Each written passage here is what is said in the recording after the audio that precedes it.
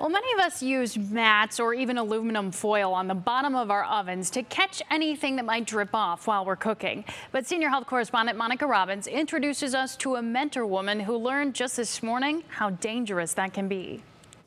Nancy Satino is quite proud of her new gas range. It's one of the centerpieces of her remodeled kitchen. But it's not a self-cleaner, so the last thing she wanted was to get it dirty. So for eight bucks, she picked up a couple of oven liners out of a catalog.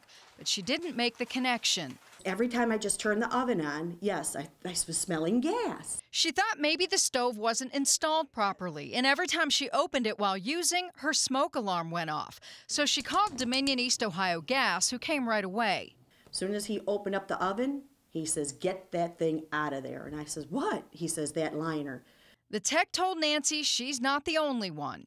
He says, I just was at a different residence that had the same problem. The liner caught spills but blocked the vents in the bottom of the oven, restricting airflow. I asked Nancy for her user's manual and checked the safety guidelines. Never cover any slots, holes, or passages in the oven bottom or cover an entire oven rack with materials such as aluminum foil.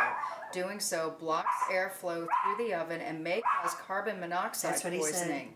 Aluminum foil linings may trap heat, causing a fire hazard. That is the second warning in your safety guide. Like many of us, Nancy didn't read it. Now she plans to get a CO detector for her house and wanted us to share her experience so others learn from it because she knows how fortunate she is. Match wise, you know, smoker wise, oxygen wise, what would have happened? The house probably would have blew up. Monica Robbins, Channel 3 News.